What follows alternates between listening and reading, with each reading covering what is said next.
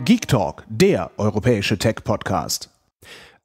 Einen wunderschönen guten Morgen und herzlich willkommen an diesem Mittwoch, dem 27.04.2022, Ihr TikTok Daily 1188.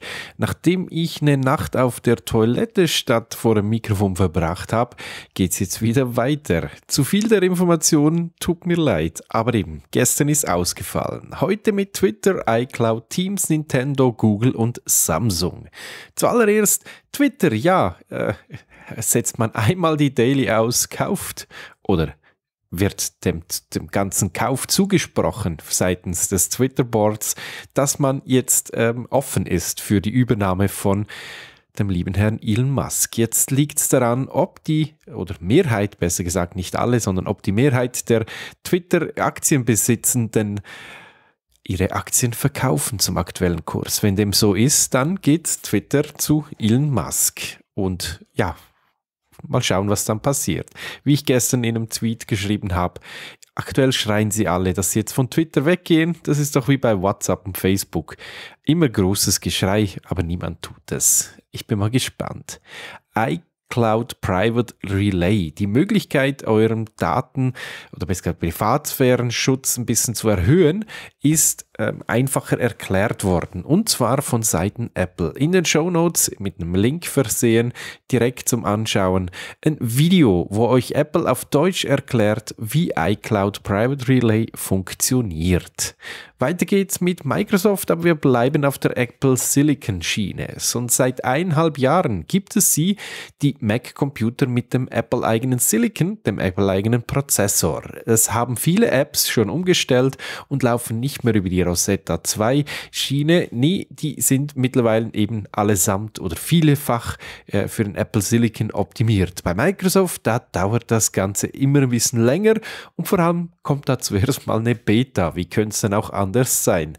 Wer will, also ich glaube ziemlich viele, ähm, äh, Microsoft Teams Nutzenden äh, eine Apple Silicon eigene Version haben, der kann sich die Beta jetzt runterladen und dann das als Universal App, App für eben den Apple Silicon nutzen. Ich bin mal gespannt, wie stabil das ist, aber das wird mir sicherlich der Mike in einem der nächsten Geekdog News Episoden erzählen. Dann geht's weiter mit der Nintendo-Figur Mario, die hat ja, oder besser gesagt, Super Mario Bros. hätte in diesem Jahr ein, ein, Animationsfilm in die Kinos kommen sollen. Das ist jetzt leider nicht so. Letzten September hat man angekündigt, dass diese Weihnachten der Film kommen wird. Es wird sich verschieben und zwar auf Frühjahr 2023. Die Termine für Japan am 28. April und USA am 7. April stehen schon mal fest. Ich bin ja mal sehr gespannt und äh, freue mich da schon drauf. Weiter geht es mit noch mehr Datenschutz, nämlich mit Datenschutzlabels im App Store. Nee, ich spreche hier nicht vom Apple App Store, da gibt es das Ganze ja schon länger. Neu gibt es das Ganze jetzt auch im Play Store, zumindest in einer abgespeckten Version.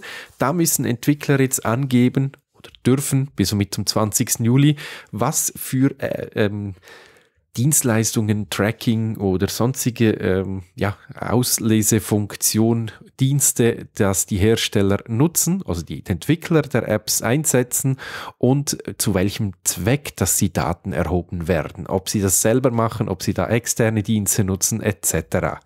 Ich bin ja mal gespannt, wie schnell da, wie viele mit aufspringen werden, bis es dann soweit ist.